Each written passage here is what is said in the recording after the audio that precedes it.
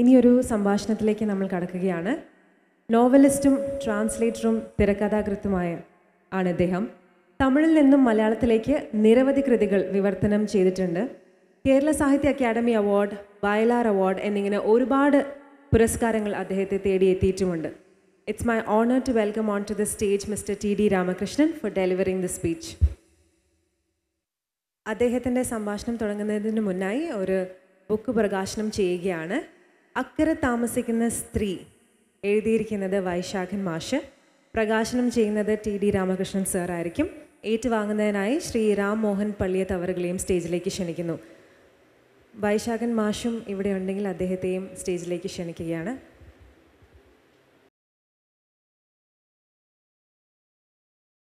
അക്കരെ താമസിക്കുന്ന സ്ത്രീ വൈശാഖൻ മാഷ് എഴുതിയ അക്കരെ താമസിക്കുന്ന സ്ത്രീ എന്ന പുസ്തകമാണ് T D Ramakrishnan sir Shri Ram Mohan Palliyath അവറുകൾക്ക് കൊടുക്കുന്നത്. താങ്ക് യു ഇനി ടി ഡി രാമകൃഷ്ണൻ സാറിന്റെ സംഭാഷണത്തിലേക്ക് കടക്കാം. പ്രിയപ്പെട്ടവരെ വളരെ സന്തോഷമുണ്ട് പെരുവനം ഗ്രാമോത്സവത്തിൽ പങ്കെടുക്കാനായിട്ട് ഒരു അവസരം ലഭിച്ചതിൽ. അതിന് ആദ്യമായിട്ട് നിങ്ങളോട് ഓരോരുത്തരോടും നന്ദി പറയുകയാണ്. കഴിഞ്ഞ മൂന്ന് ദിവസങ്ങളായി ഈ ഗ്രാമോത്സവത്തിന്റെ കൂടെ ഞാൻ നിങ്ങളോടൊപ്പമുണ്ട്. തുടക്കം മുതൽ ഈ വേദിയിൽ പല വിശിഷ്ട വ്യക്തികളും സംസാരിക്കുന്നത് കേട്ടുകൊണ്ടിരിക്കാൻ ഒരു അവസരം ലഭിച്ചു അതുമാത്രമല്ല ഈ സ്ഥലവും എനിക്ക് വളരെ പ്രിയപ്പെട്ടൊരു സ്ഥലമാണ്. ഞാൻ ഇവിടുന്ന് അധികം ദൂരെയല്ലാതെ കേച്ചേരിക്കടുത്തൊരു അയ്യാൽ എന്ന് പറയുന്ന ഗ്രാമത്തിൽ ജനിച്ച് വളർന്ന ആളാണ്. എന്റെ അമ്മയുടെ വീട് ഇവിടുന്ന് കുറച്ചടുത്ത് വല്ലച്ചിറയായിരുന്നു കൊച്ചു കുട്ടിയായിരിക്കുന്ന കാലത്തൊക്കെ ഏറെ സന്തോഷത്തോടു കൂടി ഓർക്കുന്ന ഒരു ഓർമ്മ ഒഴിവ് ദിവസങ്ങളിൽ സ്കൂളിനൊക്കെ അവധിയുള്ള സമയത്തൊക്കെ പൂച്ചനിപ്പാടത്ത് ബസ്സിറങ്ങി വല്ലച്ചിറയിലേക്ക് പോകുന്ന ദിവസങ്ങൾ. വല്ലച്ചിറയിൽ നിന്ന് അത്രയധികം ദൂരത്തിലല്ല നിൽക്കുന്നത്. എന്റെ വ്യക്തിപരമായിട്ടുള്ള സന്തോഷങ്ങൾക്കപ്പുറത്ത് ഈ ഒരു പ്രദേശത്തിന് സാംസ്കാരികമായിട്ടും ചരിത്രപരമായി വലിയ പ്രാധാന്യം. അത് വേണ്ട രീതിയിൽ തിരിച്ചറിഞ്ഞുകൊണ്ടാണ് ഇത്തരമൊരു ഗ്രാമോത്സവം കേരളത്തിലോ ഇന്ത്യയിൽ തന്നെ മറ്റേതെങ്കിലും പ്രദേശത്തുണ്ടോ എന്ന് എനിക്കറിയില്ല. വളരെ ആഘോഷപൂർവം ഇവിടെ സംഘടിപ്പിച്ചിരിക്കുന്നത് ഇരിങ്ങാലക്കുട മുതൽ തിരുനാവായ വരെയുള്ള പ്രദേശത്തിന് ഗണിതശാസ്ത്ര സംബന്ധമായിട്ട് വലിയൊരു പാരമ്പര്യമുണ്ട്. ഞാൻ എന്റെ ഒരു പുസ്തകത്തിൽ അതിനെ പറ്റിയിട്ട് എഴുതിയിട്ടു ഈ കേരള സ്കൂൾ ഓഫ് മാത്തമാറ്റിക്സ് എന്ന് പറഞ്ഞ് നമ്മളെ ലോകത്തിന് മുമ്പിൽ അഭിമാനത്തോടു കൂടി എന്നും തലയുയർത്തി നിർത്താവുന്ന നിൽക്കാവുന്ന ഒരു പാരമ്പര്യം ഈ ഒരു ദേശത്തിനുള്ളത് മാധവാചാര്യരുടെയും ജ്യേഷ്ഠദേവന്റെയും നീലകണ്ഠ സോമയാജിയുടെയും ഒക്കെയുള്ള ഒരു പാരമ്പര്യം. ഗണിതശാസ്ത്രത്തിൽ പിൽക്കാലത്ത് യൂറോ കേന്ദ്രീകൃതമായിട്ടുള്ള വ്യവഹാരങ്ങളിൽ വളരെ മുന്നോട്ട് പോയ കാര്യങ്ങളെ അതിനും മുമ്പ് തന്നെ നമ്മൾ കണ്ടെത്തിയിരുന്നതിന്റെ തെളിവുകൾ ഇന്ന് ലഭ്യമാണ്. മാധവാചാര്യയുടെ അനന്ത ശ്രേണി ഇപ്പോൾ മാധവ ലബനീസ് സീരീസ് എന്ന് പുനർനാമകരണം ചെയ്യപ്പെട്ടിട്ടുണ്ട്. ജോർജ് കിബർഗീസ് ജോസഫ് എന്ന് പറയുന്ന മാഞ്ചസ്റ്റർ യൂണിവേഴ്സിറ്റിയിലെ ഗണിതശാസ്ത്ര പ്രൊഫസർ എഴുതിയ വളരെ പ്രസിദ്ധമായൊരു പുസ്തകമുണ്ട് the crest of the peacock. അതിന് മയൂരശിഖ എന്ന പേരിൽ മലയാളത്തിൽ പരിഭാഷ വന്നു ഭാഷാ ഇൻസ്റ്റിറ്റ്യൂട്ട് പറഞ്ഞു. ഈ crest of the peacock a non European history of mathematics എന്ന് പറയുന്ന പുസ്തകം തൊണ്ണൂറുകളിൽ തൊണ്ണൂറുകളുടെ അവസാനം ഒരു കാലത്ത് മദ്രാസ് യൂണിവേഴ്സിറ്റിയുടെ ലൈബ്രറിയിൽ നിന്നും വളരെ യാദർശികമായിട്ട് എടുത്ത് വായിക്കാനുള്ള ഒരവസരം കിട്ടിയപ്പോഴാണ് എനിക്ക് സത്യം പറഞ്ഞാൽ ഈ ഒരു പാരമ്പര്യത്തെക്കുറിച്ച് കുറച്ചും കൂടെ ഒരു ധാരണയുണ്ടായിരുന്നു. എന്നാൽ ഇത് എത്ര കണ്ട് നമ്മൾ തിരിച്ചറിയുന്നുണ്ട്? ഏത് രീതിയിലാണ് നമ്മൾ അതിനെപ്പറ്റി മനസ്സിലാക്കുന്നത്? ഗണിതം മൂർധനിസ്ഥിതം എന്ന് പറഞ്ഞുകൊണ്ടാണ് ക്രസ്റ്റ് ഓഫ് ദ പീക്കോക്ക് തുടങ്ങുന്നത്. എല്ലാ ശാസ്ത്രങ്ങളുടെയും അറ്റത്ത് ഇപ്പം മയൂര ശിഖ പോലെ എല്ലാ ശാസ്ത്രത്തിന്റെ അടിസ്ഥാനമായിട്ടിരിക്കുന്നതാണ് ഗണിത്. അതിൽ അതിസങ്കീർണമായ ഇപ്പം കാൽക്കുലസ് ആയി അനന്ത ശ്രേണികളുമൊക്കെയായി ബന്ധപ്പെട്ട കാര്യങ്ങൾ നിങ്ങൾക്ക് പലരും പഠിക്കുകയും പഠിപ്പിക്കുകയും ഒക്കെ ചെയ്യുന്ന അറിയാവുന്ന ആളുകളാണ് എന്റെ മുമ്പിലിരിക്കുന്നത്. അപ്പം അതിൽ വളരെ കാലം മുമ്പ് തന്നെ അത്തരം അന്വേഷണങ്ങൾ നടത്താനും പക്ഷേ യൂറോ കേന്ദ്രീകൃതമായ രീതിയല്ല നമ്മുടെ ഗണിതശാസ്ത്ര പഠനവുമായിട്ട് ഒരുപാട് വ്യത്യാസം. ഈ കടപയാതി സംഖ്യാക്രമങ്ങൾ ഉപയോഗിച്ച് നടത്തുന്ന രീതിക്ക് വ്യത്യാസമുണ്ട് പലപ്പോഴും സംസ്കൃത ശ്ലോകങ്ങളുടെയൊക്കെ രൂപത്തിലാണ്. ഇപ്പോൾ ഈ പയ്യുടെ പതിനാല് ദശാംശം വരെയുള്ള വളരെ കൃത്യമായ വളരെ സൂക്ഷ്മമായ കണക്ക്. ചണ്ടാംശ ചന്ദ്രാധമ കുംഭിപാല എന്ന് പറയുന്ന ഒറ്റ വാചകത്തിലാണ് ഒതുക്ക് ഞാൻ കൂടുതൽ ഗണിതത്തിലേക്ക് പോകുന്നില്ല. നമ്മുടെ വിഷയം വേറെയാണ്. ഈ മണ്ണിൽ ആയതുകൊണ്ട് അതിനെ പറ്റിയിട്ടൊക്കെ പറഞ്ഞതേ ഉള്ളൂ. ചരിത്രപരമായിട്ടും സാംസ്കാരികമായി ശാസ്ത്ര സംബന്ധമായി ഏറെ പ്രാധാന്യമുള്ളൊരു സ്ഥലം. അതിനെയെല്ലാം തിരിച്ചറിഞ്ഞ്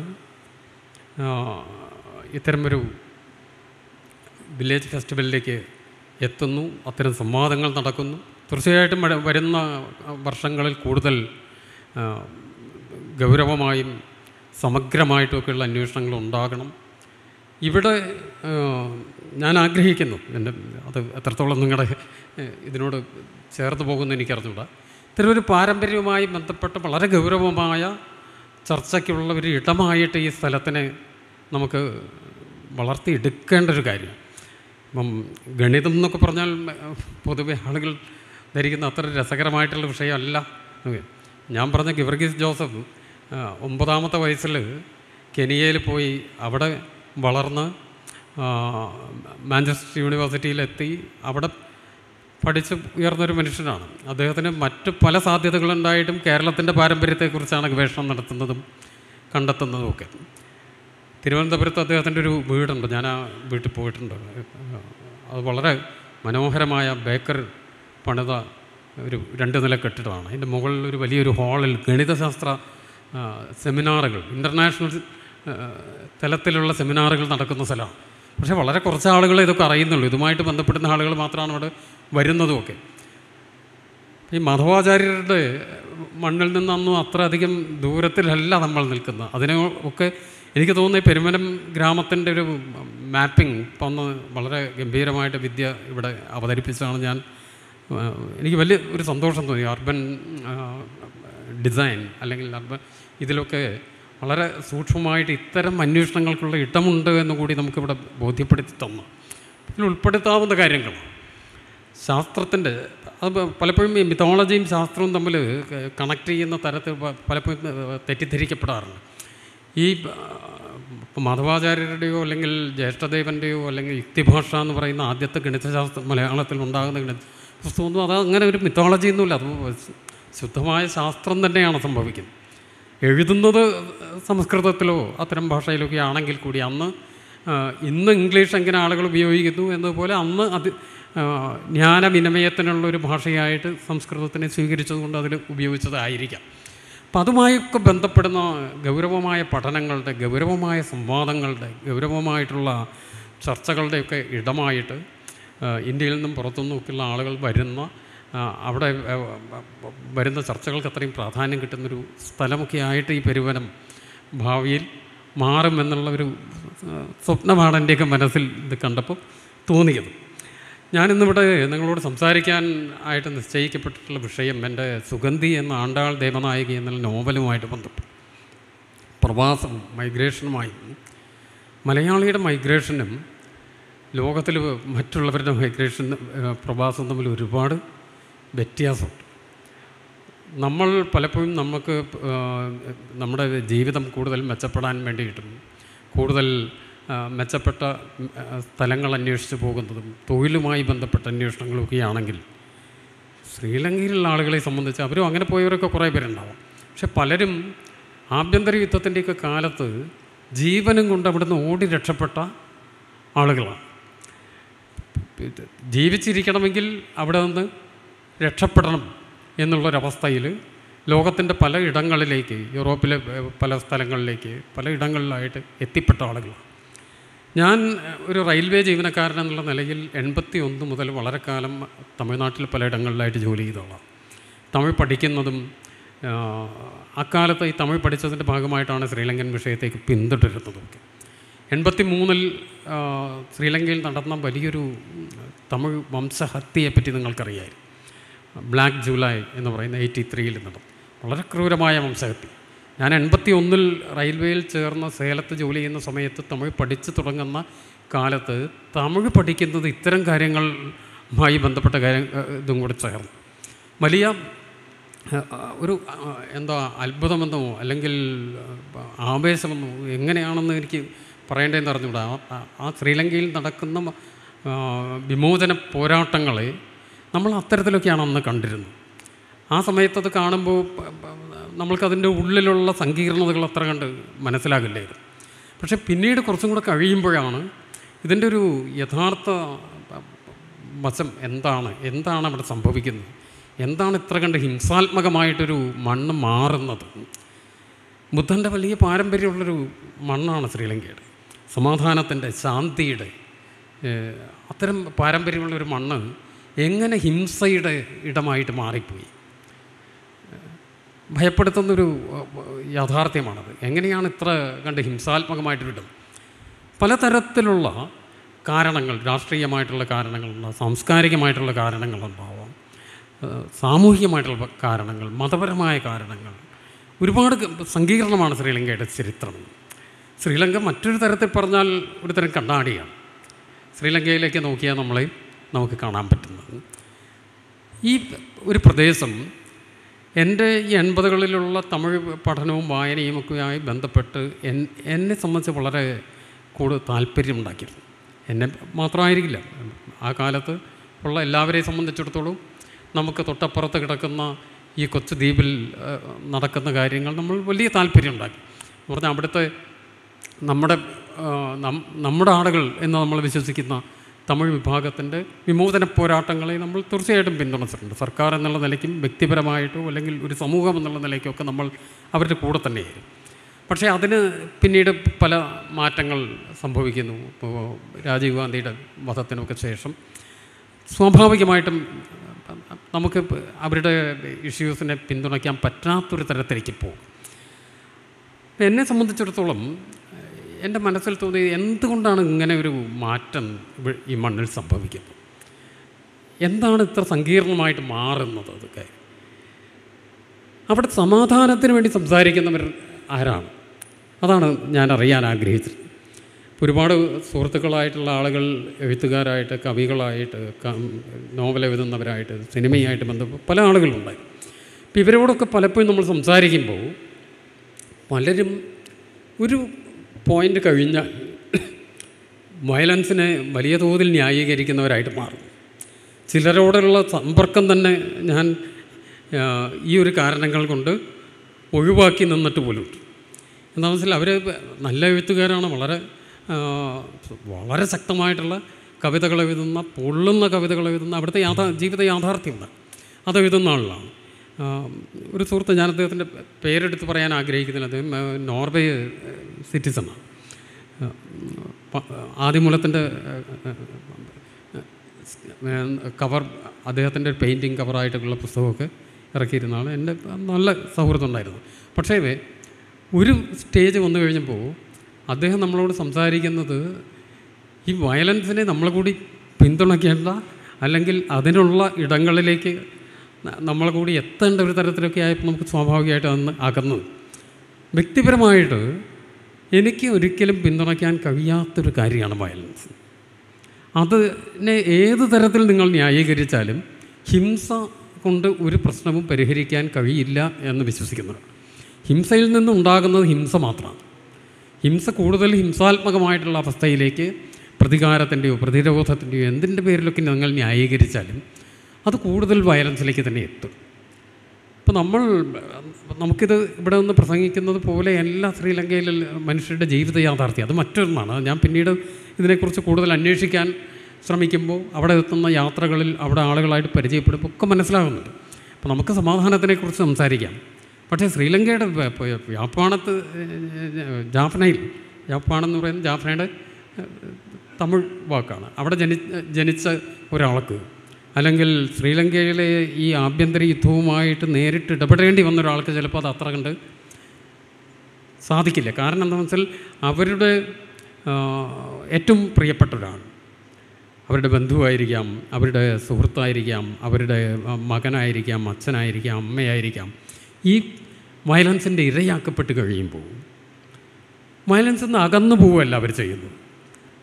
മറിച്ച് മനുഷ്യ സഹജമായ ഒരു പ്രതികാരത്തിന്റെ ഒരു അംശം ഒരു തീ അവരുടെ മനസ്സിലേക്ക് വരികയാണ്. ഒപ്പം തന്നെ ഭയത്തിന്റെ മറ്റൊരു വശമുണ്ട് ഇതിനകത്ത്.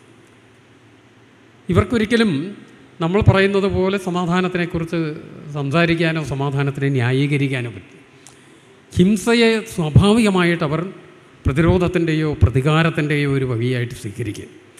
അപ്പോൾ അതാണ് ഞാൻ പറഞ്ഞത്. വളരെ സങ്കീർണമായിട്ടുള്ളൊരു പ്രശ്നമാണ്. നാം അവരെന്തുകൊണ്ടാണ് ഇത്ര കണ്ട് വയലൻസ് അവരുടെ മാർഗമായിട്ട് സ്വീകരിക്കുന്നത്? അവർക്ക് ടെ മുമ്പിൽ മറ്റ് മാർഗങ്ങളില്ലേ എന്നൊക്കെ നമ്മൾ അന്വേഷിക്കുമ്പോൾ അവരുടെ കുടുംബത്തിൽ പെട്ട ആളുകൾ ഇതിന് ഈ വയലൻസിന്റെ ഇരയായിട്ട് കൊല്ലപ്പെട്ടവരാണെങ്കിൽ അല്ലെങ്കിൽ അതിന്റെ ദുരിതം ഏറ്റുവാങ്ങേണ്ടി വന്നവരാണെങ്കിൽ സ്വാഭാവികമാണ്. അവരിന്ന് അത് നീക്കാൻ പറ്റില്ല.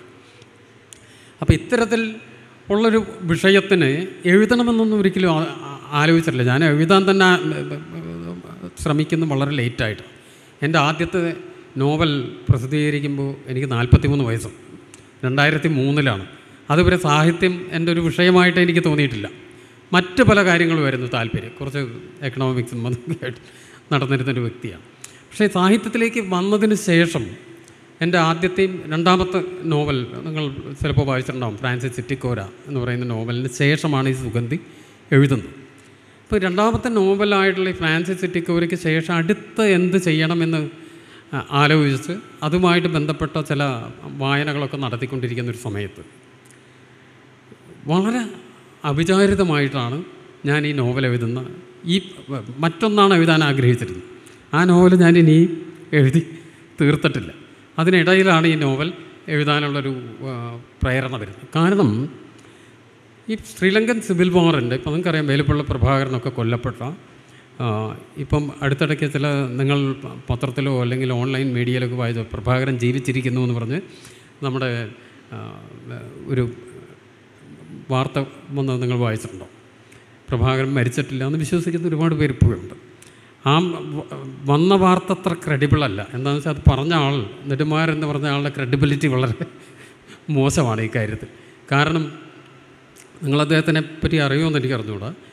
നെടുമാരൻ എം ജി ആറിന്റെ കാലത്ത് ശ്രീലങ്കയിലേക്ക് പട്ടാളത്തിനെ അയക്കണം എന്ന് പറഞ്ഞ് തമിഴ്നാട്ടിലൊരു സമരം നടത്തി എന്റെ നേതൃത്വത്തിലുണ്ടായിരുന്നതാണ് ഈ എൺപത്തൊന്ന് ജൂലൈയിൽ നടന്ന വലിയ കൂട്ടക്കൊലയ്ക്ക് ഇതായിട്ട് ഇന്ത്യയുടെ ഇന്ത്യൻ പട്ടാളത്തിനെ ശ്രീലങ്കയിലേക്ക് അയച്ച് ശ്രീലങ്കയിലെ നമ്മുടെ സഹോദരന്മാരെ രക്ഷിക്കണം എന്ന് പറഞ്ഞ് തമിഴ്നാട്ടിൽ ഓരോ ജില്ലകളിലും സെക്രട്ടേറിയറ്റിന് മുമ്പിലൊക്കെ വലിയ പ്രക്ഷോഭങ്ങൾ നടത്തി.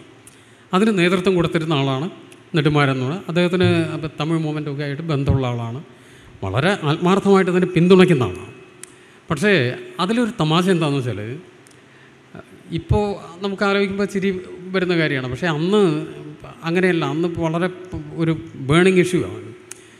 അപ്പോൾ ഇവരുടെ പ്രധാനപ്പെട്ട ആവശ്യം ഇലങ്കയ്ക്ക് റാണവത്തെ അന റാണവം എന്ന് പറഞ്ഞ പട്ടാളം. ഇലങ്ക ശ്രീലങ്കയിലേക്ക് പട്ടാളത്തിൽ പിന്നീട് പോയിട്ടുണ്ടായ പ്രശ്നങ്ങളൊക്കെ നമുക്കിപ്പോൾ അറിയാം. പക്ഷേ ഈ പറയുന്ന എൺപത്തി നാലിലോന്റെയാണെന്ന് ഈ സംഭവം നടക്കും അന്ന് പട്ടാളത്തിനെ അയച്ചാൽ ഇതെല്ലാം പരിഹരിക്കാമെന്നുള്ള തരത്തിലാണെന്ന് പക്ഷേ ഇന്ത്യ ഗവൺമെന്റ് പട്ടാളത്തിനെ അയക്കുന്നില്ല. സമരം നടക്കുന്നത് മുഴുവൻ എം ജി ആറിനെതിരെയായിട്ടാണ്. എം ജി ആറിനെയാണ് ആക്ഷേപം. എം എം ജി ആർ പറയുന്നുണ്ട് ഞാനല്ലല്ലോ പട്ടാളത്തിനെ അയക്കണം. ഇന്ത്യ ഗവൺമെന്റിനെ അയക്കാൻ പറ്റും. സ്റ്റേറ്റിന് പറ്റില്ല. പക്ഷേ ഇവർ കളക്ട്രേറ്റുകൾ ഉപരോധിക്കുന്നു ഇവരെ അറസ്റ്റ് ചെയ്യുന്നു. വീണ്ടും അടുത്ത ഒരു പ്രക്ഷോഭം തുടങ്ങും അവസാനം രാമേശ്വരത്ത് വെച്ച് ഇവർ വലിയൊരു അജിറ്റേഷൻ പ്ലാൻ ചെയ്യുന്നു നെടുമാരന്റെ നേതൃത്വം എന്ന് പറഞ്ഞാൽ പട്ടാളത്തിനെ അയച്ചില്ലെങ്കിൽ ഞങ്ങൾ ശ്രീലങ്കയിൽ പോയി ഞങ്ങളുടെ സഹോദരങ്ങളെ രക്ഷിക്കുന്നു. അപ്പോൾ വലിയൊരു മീറ്റിംഗ് ഒക്കെ ഓർഗനൈസ് ചെയ്യുന്നു. പക്ഷേ ഇന്റലിജൻസുകാർ മുഖ്യമന്ത്രിക്ക് വളരെ കൃത്യമായിട്ട് വിവരം കൊടുത്തിരുന്നു. എന്ന് പറഞ്ഞാൽ ഇവർക്ക് അങ്ങോട്ട് പോകാനുള്ള സംവിധാനമൊന്നുമില്ല. ഇവരിവിടെ കുറേ പ്രസംഗിക്കും അത് കഴിഞ്ഞ് അറസ്റ്റ് ചെയ്യും അത് കഴിഞ്ഞ് വിടും എന്നുള്ള ആ ഒരു പബ്ലിസിറ്റി ഇത് മാത്രം ഉദ്ദേശിച്ചു. അദ്ദേഹത്തിന്റെ നിർദ്ദേശമനുസരിച്ച് ഇവർ പ്രസംഗിച്ചുകൊണ്ടേ നിന്നു. അറസ്റ്റ് ചെയ്യേണ്ടതായിരുന്നു. അവരിപ്പോൾ തന്നെ കടലിലിറങ്ങി പോവുകയാണെങ്കിൽ പൊക്കോട്ടെ എന്ന്. ആയുധങ്ങളൊന്നും ഇവരുടെ കയ്യിലില്ല. രക്ഷിക്കാൻ പോകുന്നവർ അതിനുള്ള എക്യുപ്ഡായിരുന്ന ആളുകളല്ല. അപ്പോൾ കുറേ കഴിഞ്ഞപ്പോൾ ഈ പോലീസ് സന്നാഹമൊക്കെ ഇവർക്ക് മുമ്പിൽ നിൽക്കുന്നുണ്ട്. അവർ ഇവരെന്നെ അവരോട് ചോദിക്കുകയാണ് അത് എങ്ങനെയാണ് ഞങ്ങളൊന്ന് അവസാനിപ്പിക്കുന്നത്? നിങ്ങൾ അറസ്റ്റ് ചെയ്യുക അങ്ങനെ എന്തെങ്കിലും ചെയ്യുന്നില്ലേ? അപ്പോൾ ഞങ്ങൾക്കുള്ള നിർദ്ദേശം ഒന്നും ചെയ്യേണ്ട എന്നുള്ളതാണ്. നിങ്ങൾക്ക് കടലിലിറങ്ങി പോകണമെങ്കിൽ പോവാം.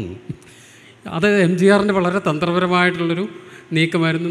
ഈ പറഞ്ഞ ഇപ്പോൾ ഈ വേലുപ്പിള്ള പ്രഭാകരൻ ജീവിച്ചിരിക്കുന്നുണ്ട് എന്നുള്ള പത്രപ്രസ്താവന നടത്തിയ നെടുമാരനാണ് അന്നതിന് നേതൃത്വം കൊടുത്ത് അദ്ദേഹം വളരെ അപഹാസ്യനായി അത് ഒരു വിധത്തിൽ അവസാനിപ്പിക്കേണ്ടി രണ്ടായിരത്തി പതിനെട്ടിലും അദ്ദേഹം അങ്ങനെ പറഞ്ഞിരുന്നു ഞാൻ വിശ്വസിക്കുന്നില്ല അദ്ദേഹം ഉണ്ടാവുമെന്ന് എന്താണെന്ന് വെച്ചാൽ പ്രഭാകരൻ ജീവിച്ചിരിക്കാനുള്ള സാധ്യത വളരെ വളരെ കുറവാണ് ഏതാണ്ട് പൂജ്യം തന്നെയാണെന്ന് പറയാം അപ്പോൾ ഈ ഒരു ആ,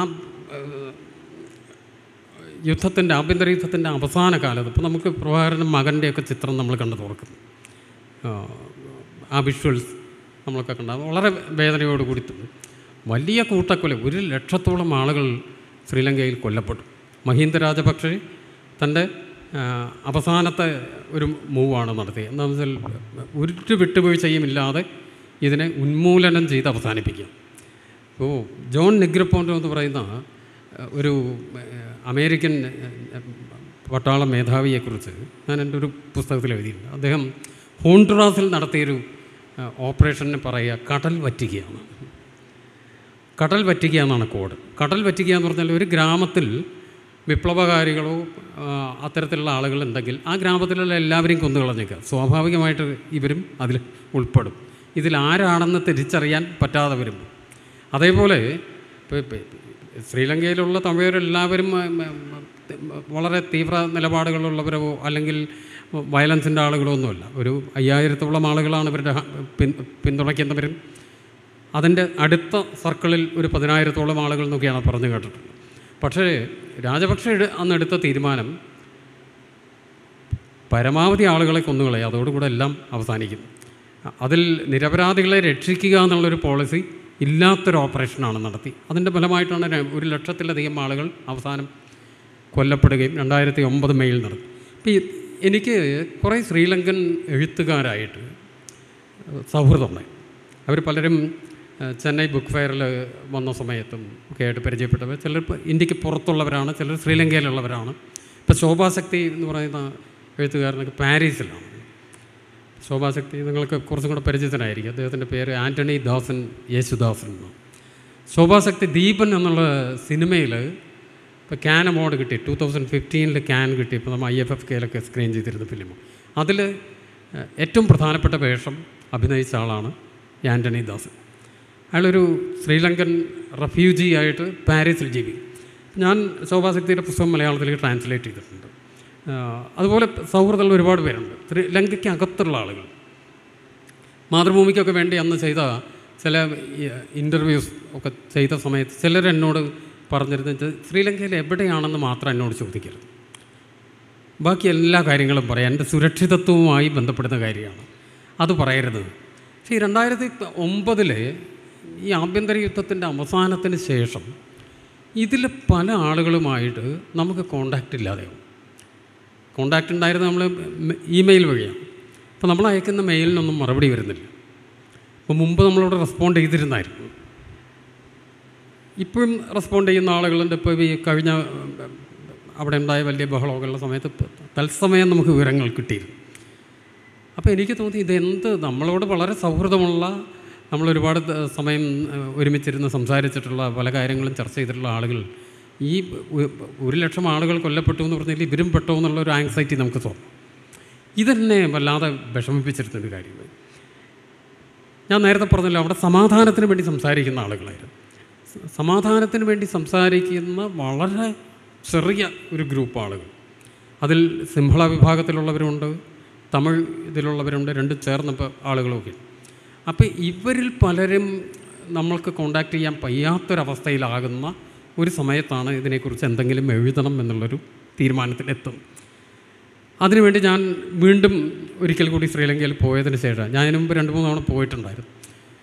ആ യാത്രയിലാണ് എനിക്ക് ഈ ആഭ്യന്തര യുദ്ധത്തിന് ശേഷം ഒരു വർഷം കഴിഞ്ഞിട്ടേ ഉള്ളൂ ശ്രീലങ്ക വല്ലാതെ എന്താ ഒരു പൊള്ളുന്ന അവസ്ഥയിൽ കിടക്കുന്ന ഒരു സമയത്ത് പോകുമ്പോഴാണ് നമ്മൾക്ക് ഹിംസയെ എതിർക്കുന്നത് പോലെ അവർക്ക് അത്ര എളുപ്പമല്ല. ഞങ്ങൾ ജാഫ്നയിലൊക്കെ യാത്ര ചെയ്യുന്ന സമയത്ത് ഞങ്ങളുടെ ഒരു ടാക്സി ഡ്രൈവർ ഒരു കാറിന്റെ ഡ്രൈവറുണ്ട്. അപ്പോൾ ഇദ്ദേഹത്തിനോട് പൊളിറ്റിക്കലായിട്ടുള്ള അല്ലെങ്കിൽ അവിടുത്തെ എന്തെങ്കിലും കാര്യം ചോദിച്ചാൽ ഒരു അക്ഷരം സംസാരിക്കില്ല. എവിടേക്കാണ് പോകേണ്ടതെന്ന് പറയുന്ന ആ സ്ഥലം മാത്രം പോകും. ഒരു വിഷയവും നമ്മൾ അവിടെ പോകുന്നതിന്റെ ഉദ്ദേശം തന്നെ നിറയെ ആളുകളോട് സംസാരിച്ച് നമ്മുടെ എഴുത്ത് എഴുത്തിന്റെ ഒരു കഥ കുറച്ചും കൂടെ നല്ല നന്നാക്കി മെനഞ്ഞെടുക്കാൻ വേണ്ടി. പക്ഷേ ഇദ്ദേഹം എനിക്കൊരു അത്ഭുത ജീവിയായി തോന്നി. വേറെ പലരും സംസാരിക്കും ഇദ്ദേഹം സംസാരിക്കില്ല. അവസാനം ജാഫ്നയിൽ നിന്ന് എലഫന്റ് പാസ് എന്ന് പറയുന്നു. ജാഫ്നയും ശ്രീലങ്കയുടെ മെയിൻ ദ്വീപുമായിട്ട് കണക്ട് ചെയ്യുന്ന ഒരു കോസ്റ്റ് ഈ എലഫന്റ് പാസ് കടന്നതിന് ശേഷമാണ് അദ്ദേഹം സംസാരിക്കാൻ ധൈര്യപ്പെടുന്നത് ആ സംസാരിച്ച് തന്നെ എന്നോട് പറഞ്ഞൊരു വാചകം ഞാൻ എപ്പോഴും മറക്ക മറക്കാൻ പറ്റാത്തൊരു വാചകമുണ്ട്. നമുക്ക് അരച്ചിയലെ പറ്റി പേശ വേണ്ട സാർ സിനിമാവെ പറ്റി പേശലാം. നമുക്ക് രാഷ്ട്രീയം സംസാരിക്കണ്ട. സിനിമയെ പറ്റി പറയാം. അതെന്താണെന്ന് ചോദിച്ചപ്പോൾ എന്താണെന്ന് വെച്ചാൽ ഇയാളുടെ കുടുംബത്തിൽ പലരും ഒന്നുകിൽ കൊല്ലപ്പെട്ടവരോ അല്ലെങ്കിൽ ഇതിന്റെ മറ്റ് പരിക്കേറ്റപരവും വലിയ നഷ്ടങ്ങൾ സംഭവിച്ചവരുമാണ് അയാൾക്ക് ആ കഥയെപ്പറ്റി അത് ഓർക്കാനേ ഭയമാണ് ആ ഒരു കാലത്തിനെപ്പറ്റി. അതിന്ന് ഇവർ രക്ഷ നേടുന്നത് ഏതെങ്കിലും ആ കാലത്ത് വന്ന സിനിമാ കഥയൊക്കെ പറഞ്ഞ് ഇതിൽ നിന്ന് രക്ഷപ്പെടുന്ന തരത്തിൽ. അപ്പം അങ്ങനെ ഇത് എഴുതാനായിട്ട് തീരുമാനിക്കുമ്പോൾ സ്വാഭാവികമായിട്ടും നമ്മൾ എന്നെ സംബന്ധിച്ചിടത്തോളം ഒരു വിഷയം നമ്മൾ എഴുതാൻ തീരുമാനിച്ചു കഴിഞ്ഞാൽ അതിനെപ്പറ്റി നമുക്ക് കഴിയാവുന്നത്ര കാര്യങ്ങൾ മനസ്സിലാക്കാൻ ശ്രമിക്കുക ഇപ്പോൾ ഒരു ശ്രീലങ്ക വിഷയമാണ് നമ്മൾ എഴുതാൻ തീരുമാനിക്കുന്നത്. സ്വാഭാവികമായിട്ടും ശ്രീലങ്കയുടെ ചരിത്രം രാഷ്ട്രീയം സംസ്കാരം സംഗീതം എല്ലാ കാര്യങ്ങളും എത്രത്തോളം നമുക്ക് അന്വേഷിക്കാൻ പറ്റുമോ അത്രയും കാര്യങ്ങൾ. അത് പല രീതിയിലാവാം ഒരുപാട് യാത്രകൾ. ഞാൻ ശ്രീലങ്കയിലെ സിഗിരിയ എന്ന് പറഞ്ഞ ഇപ്പോൾ നമ്മൾ നോവൽ പറയുന്ന സ്ഥലമാണ്. ആ സിഗിരിയയിൽ പോയില്ലായിരുന്നെങ്കിൽ നോവൽ മറ്റൊരു രൂപ രൂപത്തിലാവുക ഈ സിഗിരിയയിൽ പ- എണ്ണൂറ് അടി പൊക്കത്തിലുള്ള വലിയൊരു പാറക്കെട്ടിന് മുകളിൽ പണ്ടുണ്ടായ ഒരു കോട്ടയുണ്ടായിരുന്നു. അപ്പം അതിന് മുകളിൽ കയറി നിൽക്കുമ്പോഴാണ് നമ്മുടെ മനസ്സിൽ അതുവരെ കൊണ്ടു നടന്ന കഥയുടെ മറ്റൊരു സാധ്യത വരും. അതുവരെ മനസ്സിൽ നമ്മൾ പറയാൻ ഉദ്ദേശിച്ച വേറൊരു കഥയായിരിക്കും. ഈ കഥ തന്നെ മാറിപ്പോകുന്നത് അത്തരം അന്വേഷണങ്ങൾ കൂടി. അതുപോലെ ഈ കാലത്താണ് വളരെ യാദർച്ഛികമായിട്ട് ഞാൻ നോ മോർ ടിയേഴ്സ് സിസ്റ്റർ എന്ന് പറയുന്ന ഒരു ഡോക്യുമെന്ററി ഫിലിം കാണും. അപ്പോൾ ഈ സമാധാനത്തിന് വേണ്ടി സംസാരിക്കുന്നവരെ അന്വേഷിച്ച് നടക്കുന്ന ഒരു കാലത്താണ് എന്നെ വല്ലാതെ മാറ്റിക്കളഞ്ഞു. ഞാൻ അതുവരെ പറയാൻ ഉദ്ദേശിച്ച കഥയല്ല. നോ മോർ ടിയേഴ്സ് സിസ്റ്റർ കണ്ടതിന് ശേഷം. പറഞ്ഞ രാജനി തിരുനഗാമയുടെ ജീവിതവുമായി ബന്ധപ്പെടുന്ന അവരുടെ എന്താ ലൈഫ് ഒരു ഡോക്യു ഫിക്ഷനാണ് അപ്പം അത് കണ്ടപ്പോൾ ഉണ്ടായൊരു ഒരു പൊള്ളൽ ആ പ്രദേശത്ത് വലിയ ഒരു സ്ത്രീയാണ്. ജാ- ശ്രീലങ്കയിൽ നിന്ന് ഏറ്റവും നല്ല രീതിയിൽ പഠിച്ച് യൂറോപ്പിൽ പോയി അവിടെ വളരെ ലണ്ടനിൽ വളരെ സൗകര്യത്തോടു കൂടി അവർക്ക് തന്റെ ജീവിതം തുടരാമായിരുന്ന വ്യക്തിയായിരുന്നു. അവർ ജാഫ്നയിലേക്ക് തിരിച്ചു വന്ന ജാഫ്ന മെഡിക്കൽ കോളേജിൽ അനാട്ടമി പ്രൊഫസറായിട്ട് ജോലി ചെയ്യുകയും ഈ പ്രശ്നങ്ങളുടെ ഇടയിലേക്ക് തിരിച്ചു വരിക. അതിന് വേറെ ഒരുപാട് കാരണങ്ങളുണ്ട്. അവരുടെ സഹോദരിയുടെയും മറ്റും പല ആ കാലത്ത് ഈ മൂവ്മെന്റുമായിട്ട് അവിടെ ബന്ധപ്പെടാതെ നിൽക്കുക എന്ന് പറയുന്ന അസാധ്യമായിട്ടുള്ളൊരു കാലം. അതിന് പല കാരണങ്ങളുണ്ട്. പക്ഷേ ഇവർക്ക് വേണമെങ്കിൽ മറ്റു പലരും സ്വീകരിച്ച പോലെ ഈ ലങ്കയിൽ നിന്ന് വിട്ട് സുരക്ഷിതമായിട്ട് ഏതെങ്കിലും ഒരു സ്ഥലത്ത് താമസിക്കായിരുന്നു. ഓസ്ട്രേലിയയിൽ ഉള്ളവരുണ്ട് കാനഡയിൽ പോകുന്നവരുണ്ട്. പക്ഷേ അവർ ഇവിടെ തന്നെ തിരിച്ചു വരിക എന്നിട്ട് സമാധാനത്തിന് വേണ്ടി സംസാരിച്ചത് കൊണ്ട് സ്വന്തം ജീവൻ നഷ്ടപ്പെടുന്ന അവസ്ഥയിലേക്കാണ്. അപ്പോൾ അതിന്റെ വേറെ ഒരുപാട് കാര്യങ്ങൾ നമ്മൾ അനുഭവിക്കുന്നു. അപ്പോൾ ഈ ബ്രോക്കൺ പായ്പര എന്ന് പറഞ്ഞ അവർ ഈ ശ്രീലങ്കയിൽ നടന്ന വയലൻസിനെ എല്ലാം ഡോക്യുമെന്റ് ചെയ്തിട്ടുള്ള നാല് ഡോക്ടേഴ്സ് കൂടി. ജാഫ്ന മെഡിക്കൽ കോളേജിൽ നാല് ഡോക്ടേഴ്സ് ഇവർ ഉൾപ്പെടെ നാല് പേര് ചേർന്ന് ചെയ്തൊരു ഒരു പുസ്തകമുണ്ട് അപ്പോൾ ഈ പുസ്തകം വായിക്കുമ്പോൾ നമ്മൾ ഇതിന്റെ ഒരു ഭീകരാവസ്ഥ കുറേ കൂടെ അടുത്ത് അറിയുന്നു. എന്നുവെച്ചാൽ നമ്മൾ പുറത്തറിയുന്നതിനേക്കാൾ അതിഭീകരമായ ഒരു കൂട്ടക്കൊലയാണ് നടന്നതെന്നും അതിന് ഒരു ചരിത്രപരമായിട്ടുള്ള ഒരു തുടർച്ച ഈ എൺപത്തി മൂന്ന് നടന്ന ഒരു കൂട്ടക്കൊലയല്ല അതിന് പുറകിലും അതിന് ശേഷം നടക്കുന്നുണ്ടെന്ന് ഇവർ എയ്റ്റി നയനിലാണ് ഇവരെ കുന്നുകളയും അപ്പോൾ ഇത് മനസ്സിലാക്കും തോറും നമ്മളുടെ മനസ്സിൽ ഓരോ സ്റ്റേജിലും ഇതിന്റെ ഒരു കഥയുടെ ഒരു അംശം ഉണ്ടാകുന്ന രൂപം മാറിക്കൊണ്ടിരിക്കും. ഇപ്പോൾ ആദ്യം നമുക്ക് മനസ്സിൽ നമ്മൾ പറയാൻ ഉദ്ദേശിക്കുന്ന കഥയായിരിക്കില്ല കുറച്ചും കൂടെ കഴിയും. സ്വാഭാവികമായിട്ട് ഒരേ പുതിയ കാര്യങ്ങൾ നമ്മളിലേക്ക് എത്തുമ്പോൾ കഥയുടെ സാധ്യതയും മാറും. ഓരോ യാത്രകളിലും ഓരോ വായനകളിലും പഴയ കാലത്തെ ചരിത്രം വായിക്കുമ്പോൾ. ഇപ്പോൾ ലങ്കയുടെ പഴയ ചരിത്രം തമിഴകത്തിന്റെ ചരിത്രവും നമ്മൾ ഒരുമിച്ച് വായിക്കുന്ന സമയത്ത് നമ്മൾ ചില ഇടങ്ങളിലേക്ക് എത്തും. ഇപ്പോൾ എ ഡി ആയിരം എന്ന് പറഞ്ഞ ഒരു സമയത്ത് എത്തുമ്പോഴാണ് അനുരാധപുര ഭരിച്ചിരുന്ന അവസാനത്തെ സിംഹള രാജാവ് മഹീന്ദൻ അഞ്ചാമൻ എന്നുള്ള ആളുടെ അടുത്ത്. എന്റെ അന്വേഷണങ്ങൾ എന്നെ വഴിതിരിച്ചു വിട്ടൊരു കാര്യമാണ് ഈ മഹീന്ദൻ അഞ്ചാമനെ ഞാൻ ചരിത്രത്തിൽ കണ്ടുമുട്ടുമ്പോൾ കണ്ടുമുട്ടുന്നത് മഹീന്ദ രാജപക്ഷെ ശ്രീലങ്ക ഭരിക്കുന്ന സമയത്ത്. മഹീന്ദ രാജപക്ഷെ വിജയശ്രീലാളിതനായി ആഘോഷിക്കുന്ന കാലത്താണ് ഞാൻ മഹീന്ദൻ അഞ്ചാമനെ ചരിത്രത്തിൽ കണ്ടുമുട്ടുന്നത്. ആ ഒരു കാലത്തിന് എ ഡി ആയിരത്തിന്റെ അപ്പുറത്തും ഇപ്പുറത്തുമായിട്ടുള്ള പത്തോ അമ്പതോ കൊല്ലം നമുക്ക് വളരെ കൃത്യമായിട്ട് പറയാൻ പറ്റില്ല. ആ കാലത്തിലേക്ക് എത്തുമ്പോൾ വളരെ വ്യത്യസ്തമായ ഒരു ഇടമായിരുന്നു. ഇപ്പോൾ ശ്രീലങ്കയും കേരളവും തമിഴ്നാടും ബാക്കിയുള്ള ഭാഗങ്ങളും എല്ലാം ചേർന്ന് വരുന്ന ഒരു പ്രദേശം. ആ പ്രദേശത്തിന്റെ ചരിത്രം എങ്ങനെയാണ്? അതിന്റെ സംസ്കാരം എങ്ങനെയായിരുന്നു? അതിന്റെ സംഘർഷങ്ങൾ. അത് സങ്കീർണമായിട്ടുള്ള സംഘർഷാവസ്ഥ എന്തായിരുന്നു? നമുക്ക് നമ്മൾ തിരിച്ചറിയും. ഇപ്പോൾ നമ്മൾ ഇപ്പോൾ നിങ്ങളൊക്കെ പലരും പൊന്നിയൻ സെൽവനൊക്കെ കണ്ടിട്ടുണ്ടാവും. അപ്പോൾ അതൊക്കെ കാണുമ്പോൾ നിങ്ങൾ ഇതിന്റെ രാജരാജ ചോളന്റെയും രാജേന്ദ്ര ചോളന്റെയും ഒക്കെ കഥയിലേക്ക് എത്തുമ്പോൾ ഞാൻ പക്ഷേ ഈ സിനിമ വരുന്നതിനും ഇത് വായിക്കുന്നതിനും മുമ്പുള്ള അന്വേഷണങ്ങൾ ഞാൻ കണ്ട രാജരാജ ചോളൻ ഇതായിരുന്നില്ല. ഇപ്പോൾ നിങ്ങൾ പൊന്നിയൻ സെൽവനിൽ കാണുന്ന പോലെ അത്ര സോഫ്റ്റ് അല്ല. രാജരാജ ചോളൻ കുറേ കൂടെ ഒരു മറ്റൊരു രൂപത്തിലാണ്. ഇപ്പോൾ ഇതിന്റെ യാഥാർത്ഥ്യം നമുക്കറിയാത്തത് കൊണ്ട് ഓരോരുത്തരും ഓരോ അന്വേഷണങ്ങളിൽ ഒരു തരത്തിലേക്കായിരിക്കും എത്തുന്നത്. അപ്പോൾ ആ ഒരു കാലം വന്ന ത്തിലേക്ക് എത്തുമ്പോൾ ചരിത്രത്തിൽ നമുക്ക് ഒരു പല ഇടങ്ങളും പൂരിപ്പിക്കപ്പെടാത്ത ഒരുപാട് ഇടങ്ങൾ നമുക്ക് കഥ പറയാനുള്ള സാധ്യത തരുന്ന സ്ഥലങ്ങൾ. ഞാനതിന് കാരണം എന്താണെന്ന് വെച്ചാൽ ഇപ്പോൾ ഈ രജനിയുടെ പുസ്തകം ബ്രോക്കൺ പൈമര എടുത്ത് വായിക്കുമ്പോൾ അതിൽ ഹിംസയുടെ ഇങ്ങനെ അക്കമിട്ട് പറയുന്ന ഓരോ സംഭവങ്ങളുടെ വളരെ ക്രൂവലായിട്ടുള്ള ഹിംസയുടെ ഡോക്യുമെന്റേഷനാണ് അത് അതുപോലെ ഒരു നോവലായിട്ട് നിൽക്കില്ല. ഒരു ഡോക്യുമെന്റേഷൻ എന്നുള്ള നിലയിൽ അത് നിൽക്കും അത് വളരെ ഗംഭീരമായിട്ടുള്ള സാധനമാണ്.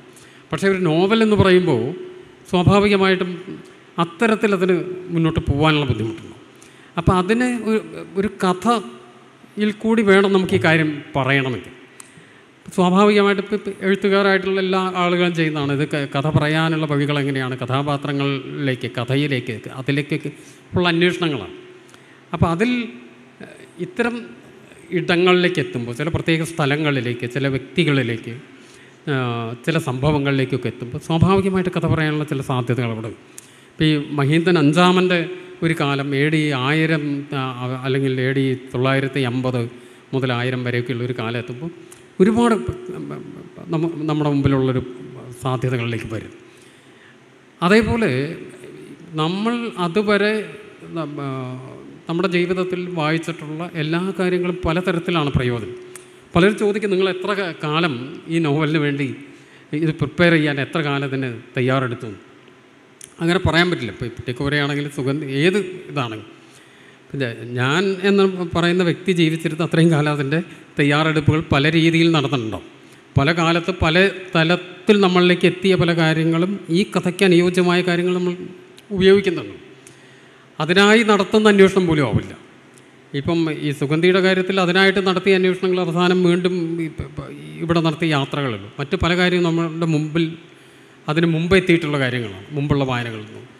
ഞാൻ അത്തരം എഴുത്തുകാരും എഴുത്തുകാരികളും ഒക്കെ ആയിട്ടുള്ള സംഭാഷണങ്ങൾ അവരുടെ പരിഭാഷകൾ ഒക്കെ ചെയ്യുന്നു. ഇപ്പം ഞാൻ ഈ ശോഭാശക്തിയുടെ നോവൽ അത് എയ്റ്റി ത്രീയിൽ നടന്ന അവിടുത്തെ കൂട്ടക്കൊലയുടെ ഒരു നേർ സാക്ഷ്യം എന്ന് പറയാവുന്നതാണ്.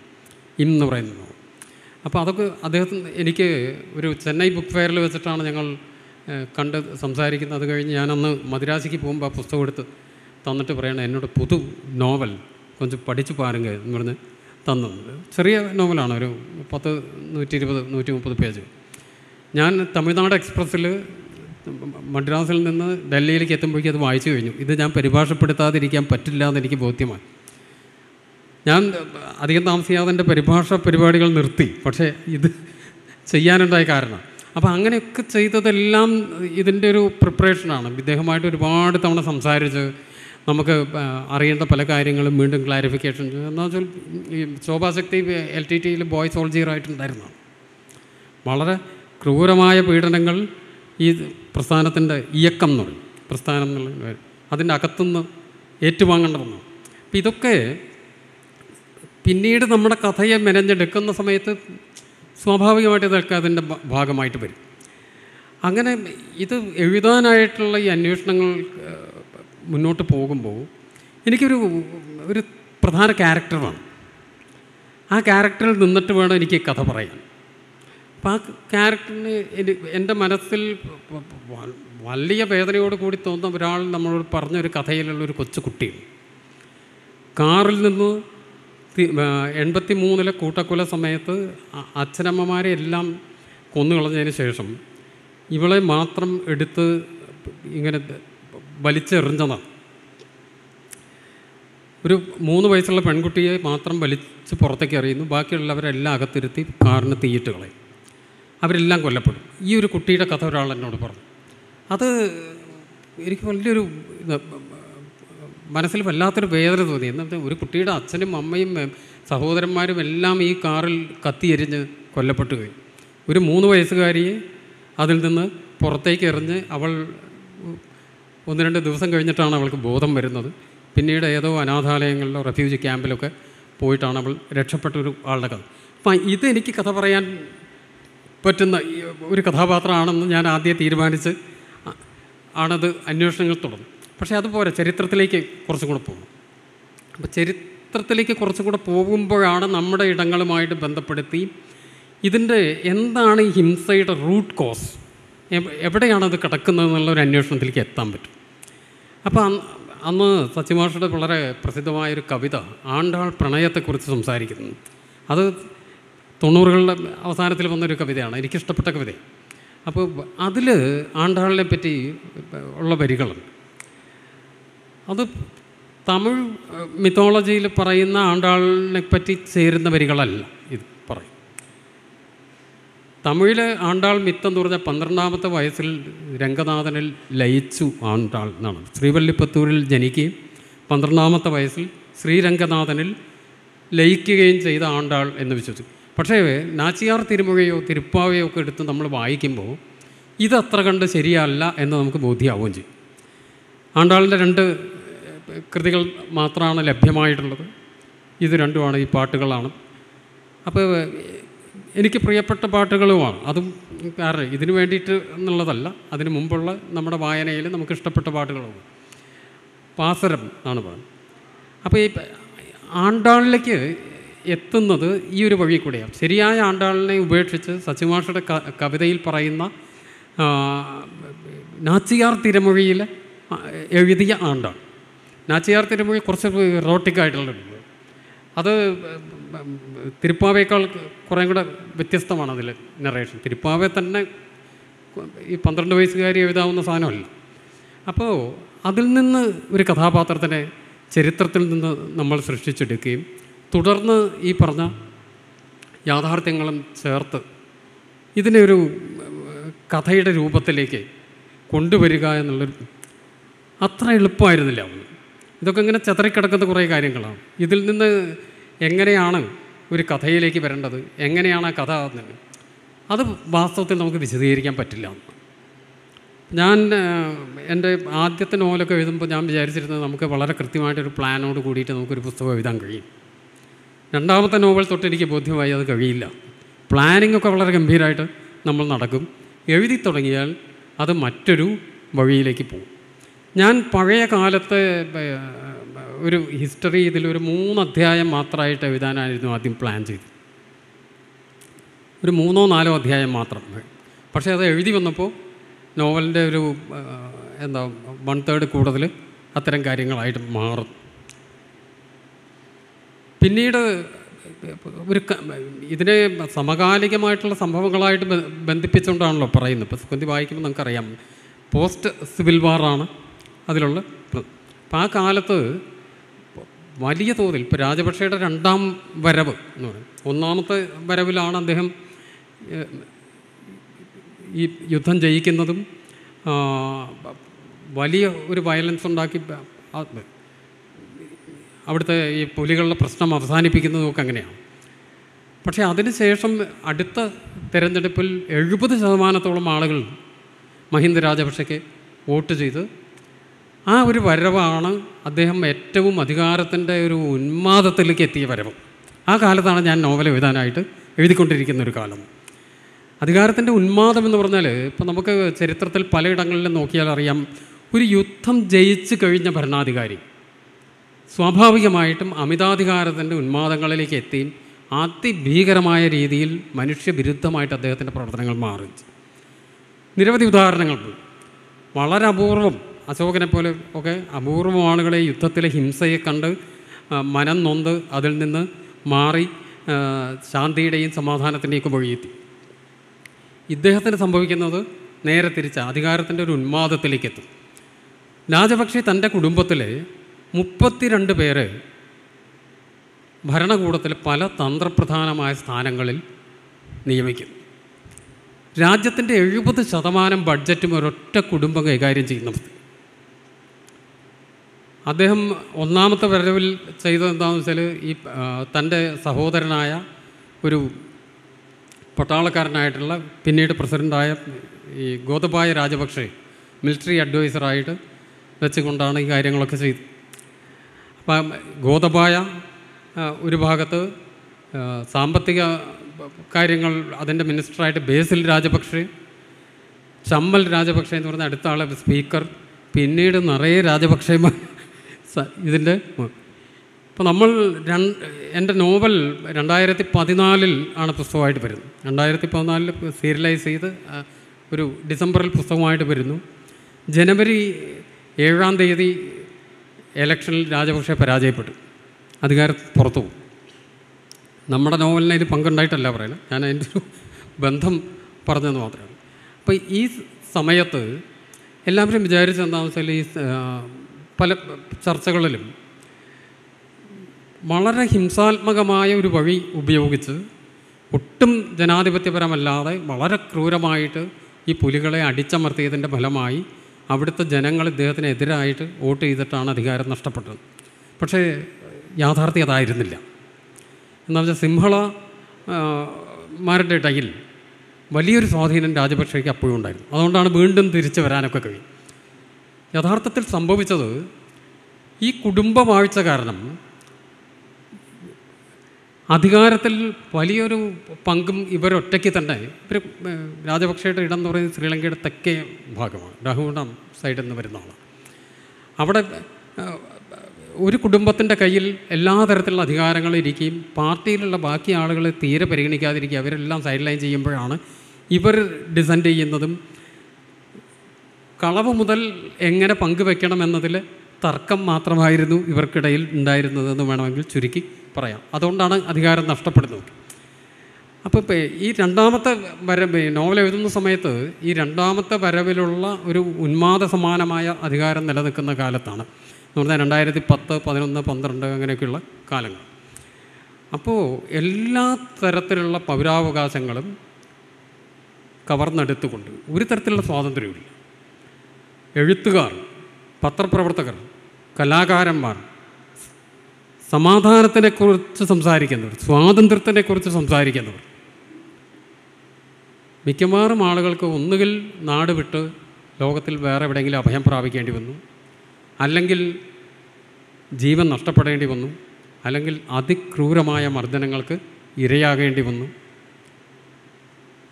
അതിൽ ഒരു പത്രപ്രവർത്തകരൊക്കെ ഒരുപാട് പേരുണ്ട്. ഈ തരത്തിൽ ജീവൻ നഷ്ടപ്പെട്ട ആളുകളായിട്ട്. അപ്പം അങ്ങനെ ഒരു ആ ഒരു സാഹചര്യത്തിൽ ഇതിനെ പ്രതിരോധിക്കാനായിട്ട് പിന്നീട് ഫിക്ഷനാണ് അത് യഥാർത്ഥത്തിൽ ഉണ്ടായ കാര്യങ്ങളല്ല. അപ്പം എന്താണെന്ന് വെച്ചാൽ ഈ ശ്രീലങ്കയിലെ സമാധാനത്തിന് വേണ്ടി അല്ലെങ്കിൽ ശ്രീലങ്കയിലെ സ്ത്രീകളുടെ സുരക്ഷയ്ക്ക് വേണ്ടി ഒക്കെയുള്ള കൂട്ടായ്മകളെപ്പറ്റിയും ഫിക്ഷനിലായിട്ട് വരുന്ന പല കാര്യങ്ങളുമാണ് നോവലിൽ പറയുന്നത്. അതിൽ ചില കാര്യങ്ങൾ നമ്മളോട് പല വ്യക്തികളും ഷെയർ ചെയ്തിട്ടുള്ള കാര്യങ്ങളാണ്. സ്വാഭാവികമായിട്ട് കുറേ അതിൽ ഫിക്ഷൻ വരുന്നുമുണ്ട് പൂർണമായിട്ട് സത്യസന്ധമായിട്ടുള്ള ഡോക്യുമെന്റേഷനൊന്നുമില്ല കഥ തന്നെയാണ് പറയുന്നത്. പക്ഷേ ആ കഥ പറയുന്നതിൽ ഈ പറഞ്ഞ പോലെ യഥാർത്ഥത്തിൽ നടന്ന ഒരുപാട് കാര്യങ്ങളെയും കൂടെ ചേർത്താണ് ഈ കഥ പറയാൻ ഈ സിംഹള ഷുവനിസം അതിന്റെ ഏറ്റവും ഒരു ഭീകരമായിട്ടുള്ള ഒരു അവസ്ഥയിൽ നിൽക്കുന്ന ഒരു കാലം കൂടിയായിരുന്നു. രാജപക്ഷയുടെ ഈ പത്ത് കൊല്ലവും അതിന് ശേഷം വരുന്ന ഭരണകാലവും ഒക്കെ ഏറ്റവും ഭീകരമായ തരത്തിൽ സിംഹള ഷൂവനിസം നിലനിൽക്കുന്നൊരു അതിന് ഈ സിംഹള മിത്ത് നമുക്ക് അറിയാം ശ്രീലങ്കയിൽ സിംഹമില്ല. അത് മിത്താണ്. ശ്രീലങ്കയിലേക്ക് എങ്ങനെയാണ് ഈ സിംഹള മിത്ത് വരുന്നത്? സിംഹബാഹുവിന്റെ കഥയൊക്കെ നമുക്ക് അറിയാവുന്ന കാര്യം. ഞാനത് റിപ്പീറ്റ് ചെയ്യുന്നില്ല. അപ്പോൾ അതിന്റെ തുടക്കം തന്നെ ഒരു ചതിയുടെയും വയലൻസിലും തന്നെയാണ് പറഞ്ഞത് എന്താണെന്ന് വെച്ചാൽ തന്റെ പിതാവായ സിംഹത്തിന് സിംഹബാഹു കൊന്നുകളത് ആ നാടകം ഇവിടെ വന്നിട്ടുണ്ടായിരുന്നു ഒരു അഞ്ചാറ് കൊല്ലം മുമ്പേ. ഒരു ശ്രീലങ്കൻ ട്രൂപ്പ് നമ്മുടെ തൃശ്ശൂർ നാടകോത്സവത്തിൽ അവതരിപ്പിച്ചു സിംഹബാഹു. എന്ന് പറഞ്ഞാൽ ഒരു സിംഹം ഒരു രാജകുമാരിയെ തട്ടിക്കൊണ്ടുപോയി ഒരു ഗുഹയിൽ താമസിപ്പിക്കുന്നു വിവാഹം കഴിക്കുന്നു. ഈ സിംഹത്തിൽ ഈ രാജകുമാരിക്ക് രണ്ട് മക്കളുണ്ടാകും. ആ മകനാണ് സിംഹബാഹു. സിംഹം പുറത്ത് നിന്ന് ആഹാരമെല്ലാം കൊണ്ടുവന്ന് ഇവരെ ഈ ഗുഹയിൽ നിന്ന് ഒരു കാരണവശാലും പുറത്തിറക്കാതെ വളർത്തുകയാണ്. പക്ഷേ സിംഹബാഹു വളരെ ശക്തനായിരുന്നു. അവൻ ശക്തനായി കഴിയുമ്പോൾ ഇതിൽ നിന്ന് രക്ഷപ്പെടാൻ വേണ്ടി സിംഹം ആഹാരം അന്വേഷിച്ച് പുറത്തു പോകുന്ന സമയത്ത് ഈ ഗുഹയിൽ നിന്ന് തന്റെ അമ്മയും സഹോദരിയും കൊണ്ട് രക്ഷപ്പെട്ട് ഈ രാജകുമാരിയുടെ രാജ്യത്തിൽ തിരിച്ചെത്തുന്നു എന്നാണ് അവരുടെ കഥ. അപ്പോൾ സിംഹം തിരിച്ച് ശരിക്കുള്ള സിംഹമാണ് പറയുന്നത് തിരിച്ചു വരുന്ന സമയത്ത് തന്റെ ഭാര്യയും മക്കളെയൊന്നും കാണാതെയപ്പോൾ വളരെയധികം വയലന്റാവും നാട്ടിൽ പുറത്തിറങ്ങിയിട്ട് കണ്ണ് കണ്ടവരെ എല്ലാം കൊല്ലുന്നു ഇപ്പോൾ രാജാവ് പറയും ഇത് വലിയൊരു പ്രശ്നമാണ്. നിന്റെ പിതാവായിട്ടുള്ള സിംഹം ഇത്രയും ബഹളം ഉണ്ടാക്കുന്നു. നീ തന്നെ അതിന് ഒരു പരിഹാരം ഉണ്ടാക്കണം. വേറെ ആർക്കും ചെയ്യാൻ പറ്റില്ല. വങ്കദേശത്താണ് അതൊക്കെ നടക്കുന്നതെന്നൂടെ യുറൈസയുടെയും ബംഗാളിന്റെയൊക്കെ ഇടയ്ക്കുള്ള ഒരു പ്രദേശമാണ് ഉദ്ദേശിക്കുന്നത്. ഈ സിംഹബാഹുവിനെയാണ് അയക്കുന്നത്. അമ്പും വില്ലുമൊക്കെ ആയിട്ട് പോയി ചെല്ലുമ്പോൾ ഇത്രയും പവർഫുള്ളായ ക്രിവലായിട്ടുള്ള സിംഹം സിംഹബാഹുവിനെ കാണുമ്പോൾ വളരെ ശാന്തനാണ്. സ്വന്തം മകനാണല്ലോ. ഇവൻ തനിക്കെതിരെ ഒന്നും ചെയ്യില്ല എന്നുള്ള ധൈര്യത്തിൽ ഇവനെ അറ്റാക്ക് ചെയ്യാതെ വളരെ സൗമ്യനായിട്ട് അടുത്തേക്ക് വരുമ്പോൾ സിംഹബാഹു തന്റെ പിതാവിനെ ചതിച്ച് കൊല്ലുന്നു.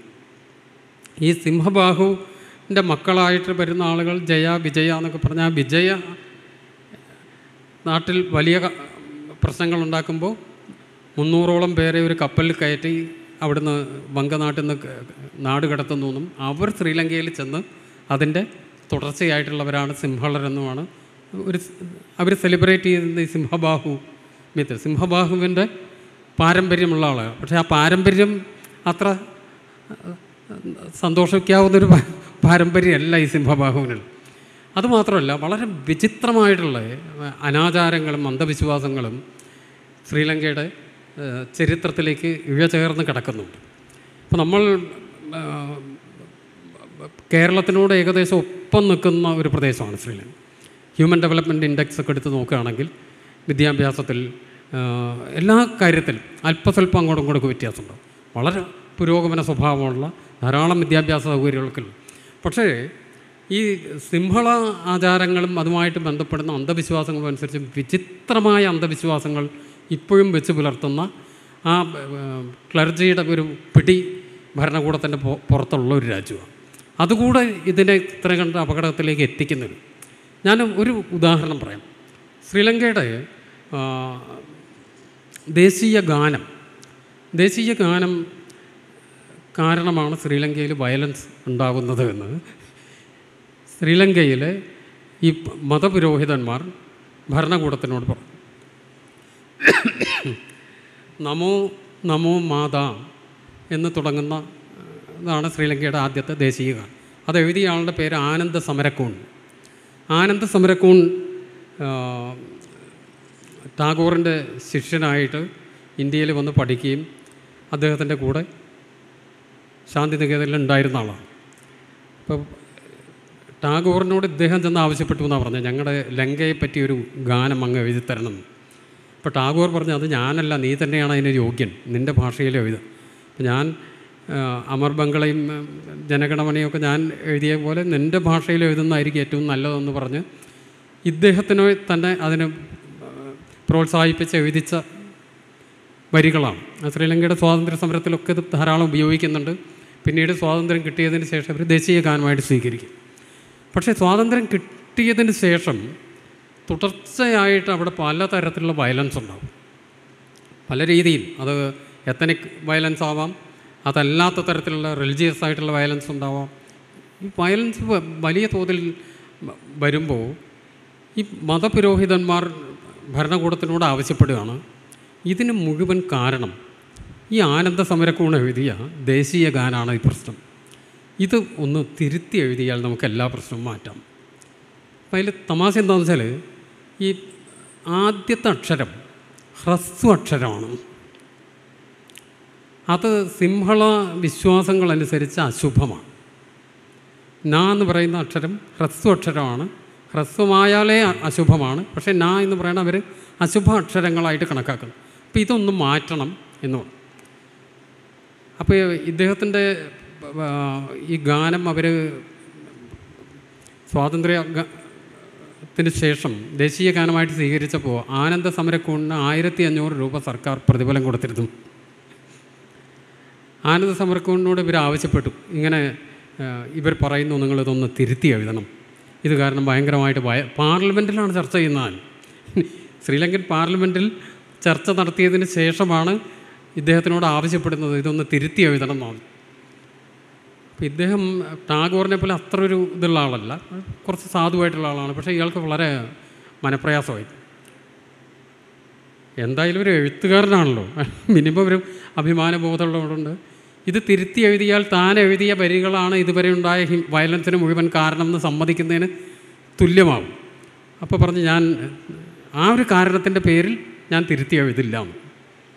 വീണ്ടും പാർലമെന്റിൽ ഈ വിഷയം ചർച്ച ചെയ്യാം. അപ്പോൾ ഒരു ഭരണകക്ഷിയിൽപ്പെട്ട ഒരു പ്രധാനപ്പെട്ട എം പി ആണെന്ന് ഇടപെട്ടിട്ടാണ് പറയണത് അയാളോട് ചോദിക്കേണ്ട കാര്യമൊന്നുമില്ല. നമ്മൾ ആയിരത്തഞ്ഞൂറ് രൂപ കൊടുത്ത് ഇതിന്റെ അവകാശം വാങ്ങിക്കഴിഞ്ഞതാണ്. നമുക്ക് തിരുത്താമെന്ന് തീരുമാനിക്കും. എന്നിട്ട് ഈ ഇലങ്കൈ ഒളിവെറുപ്പ് കൂട്ടുസ്ഥാപനം എന്ന് പറഞ്ഞാൽ നമ്മൾ റേഡിയോ കേട്ട് കേട്ട ഇതുപോലെ റേഡിയോയിൽ കൂടി അനൗൺസ് ചെയ്യുന്നതാണ് ഈ ആനന്ദ സമരക്കോൺ കേൾക്കുന്നത്. ഇത് തിരുത്താൻ തീരുമാനിച്ചു ഗവൺമെന്റ് ഇദ്ദേഹത്തിന്റെ പെർമിഷനൊന്നും ആവശ്യമില്ല. അത് ഇനി മുതൽ ദേശീയ ഗാനം മാറ്റുകയാണ്. ചെറിയ മാറ്റേ വരുത്തുന്നുള്ളൂ. വലിയ മാറ്റമൊന്നുമില്ല ശ്രീലങ്ക മാതാ നമോ നമോ മാതാ എന്നാണ്. ഇപ്പോൾ നമ്മൾ ശ്രീലങ്കയിൽ ചെല്ലുമ്പോൾ കേൾക്കുന്ന ദേശീയ ഗാനം അതാണ്. ശ്രീലങ്ക മാത നമോ നമോമാത നമോ മാത പക്ഷേ ഇദ്ദേഹം ഈ എഴുത്തുകാർ പൊതുവെ വളരെ വൈകാരികമായിട്ട് പ്രതികരിക്കുന്ന ആളുകളായതുകൊണ്ട് ആനന്ദ സമരക്കൂൺ ഈ വാർത്ത ന്യൂസിൽ കേട്ട സമയത്ത് വലിയ തോതിൽ വിഷമിക്കുകയും അയാളൊരു ചെറിയ കുറിപ്പ് എഴുതി വെച്ച് ആത്മഹത്യ ചെയ്യുന്നു അയാൾ എഴുതി വെച്ച കുറിപ്പിൽ സിംഹള ഇതിന്റെ മലയാളം പറയുകയാണെങ്കിൽ അവരെന്റെ തല വെട്ടി മാറ്റി. ഇനി ഞാൻ ജീവിച്ചിരിക്കുന്നതിൽ അർത്ഥമില്ല. എന്ന് എഴുതി വെച്ച് ഇയാൾ ആത്മഹത്യ. ചെയ്തു ഞാൻ ഈ സംഭവം പറയാനുള്ള കാരണം ഒരു രാജ്യത്തിന്റെ വയലൻസിന്റെ ചരിത്രമായിട്ട് നമ്മൾ നോക്കുമ്പോൾ ഇത്തരം സംഭവങ്ങൾ സാംസ്കാരികമായിട്ടുള്ളൊരു കാര്യമാണ്. എത്ര നമ്മുടെ രാജ്യത്ത് നമുക്ക് ചിന്തിക്കാൻ പറ്റില്ല. ഇത് വളരെ പുരോഗമിച്ചു എന്ന് പറയുന്ന രാജ്യത്ത് അവിടുത്തെ സിംഹള ക്ലർജി ചെയ്ത ഇടപെടലുകൊണ്ട് സംഭവിച്ചൊരു കാര്യമാണ് ഇവർ പറയുന്ന കാര്യങ്ങളെല്ലാം ശരിയായിരുന്നെങ്കിൽ തുടർന്ന് ശ്രീലങ്ക വളരെ സമാധാനത്തിലും ശാന്തിയിലും പോകണമായിരുന്നു ഈ സംഭവമൊക്കെ നടക്കുന്ന അറുപതുകളിലാണ് അത് കഴിഞ്ഞ് ഇതുവരെയും ഒരിക്കലും ശാന്തി അങ്ങോട്ട് അശാന്തിയുടെ ദ്വീപായി തന്നെ ശ്രീലങ്ക തുടരുകയാണ്. അപ്പം ഇത്തരം വിചിത്രമായിട്ടുള്ള ചില വിശ്വാസങ്ങളും ഇടപെടലുകളും ഇതൊക്കെ അവിടുത്തെ വയലൻസിനോട് നേരിട്ട് ബന്ധപ്പെട്ട് കിടക്കുന്ന ഒരു കാര്യമാണ് അപ്പോൾ നമ്മുടെ ദേശീയ ഗാനം എല്ലാം ഹ്രസ്വ അക്ഷരത്തിന്റെ ഒരു നിരയാണ്. ഇന്ത്യ എന്ന് പറഞ്ഞൊരു രാജ്യം ഇവർ പറയണ വിശ്വാസം അനുസരിച്ചിട്ടാണെങ്കിൽ ഉണ്ടാവില്ല. നിലനിൽക്കാൻ പറ്റില്ല. അങ്ങനെ മുഴുവൻ ഹ്രസ്വാക്ഷരങ്ങളുടെ നിരയുള്ള ഒരു വലിയ കുഴപ്പമൊന്നുമില്ലാതെ നമ്മൾ കഴിയുന്നുണ്ട്. ഇവർ ഇതേപോലത്തെ വിശ്വാസങ്ങൾ ഇത് ഉദാഹരണമായിട്ടൊരു ഇത് പറഞ്ഞു ഇതുപോലത്തെ നൂറുകണക്കിന് കാര്യങ്ങൾ വളരെ പുരോഗമനം ഉണ്ട് എന്ന് വിശ്വസിക്കുന്ന ഇവരുടെ ഉള്ളിൽ കടന്ന് കറങ്ങുന്ന കാര്യങ്ങൾ. ഞാൻ ഇപ്പോൾ തന്നെ സമയം കൂടുതലെടുത്തു എനിക്ക് സംശയമുണ്ട്. ഇതൊക്കെയാണ് എനിക്ക് ഈ സുഗന്ധിയെ പറ്റിയും ആ, എന്റെ ഒരു എഴുത്തിനെ പറ്റിയൊക്കെ എനിക്ക് നിങ്ങളോട് പറയാനുള്ളത്. ഇനി ആർക്കെങ്കിലും എന്തെങ്കിലും ചോദിക്കാനുണ്ടെങ്കിൽ ചോദിക്കാം. അല്ല സമയം കഴിഞ്ഞെങ്കിൽ അവസാനിപ്പിക്കാം. അവസാനിപ്പിക്കാം. അപ്പോൾ എന്റെ വാക്കുകൾ കേട്ടിരുന്ന നിങ്ങൾക്കെല്ലാവർക്കും എന്റെ നന്ദി ഏറെ സന്തോഷം. നമസ്കാരം.